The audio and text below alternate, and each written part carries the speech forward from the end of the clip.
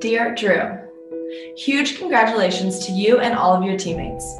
We are all extremely proud of you. You have worked so hard to get to where you are and have continued to focus on your end goal Detroit or bust.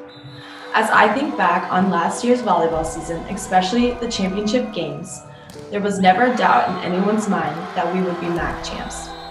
The passion and dedication throughout the entire team, coaches, staff, and families gave us the drive and ultimate success to bring home a MAC championship in this MAC championship ring. I see many similarities between our run and the run your team is on now. I want all the same success for you and your teammates. There is so much support and love behind you guys. So Drew, continue to have all that confidence and swagger that we all know you have, and share it with your team and coaches. You have played in many championships and have always delivered. I know you will do it again.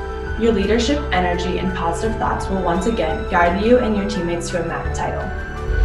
Since you stepped foot on Ball State's campus, this is what you've worked so hard for and wanted. So Friday night, play with all of your heart and bring a ring back to Muncie. Love you, Drew. Murray.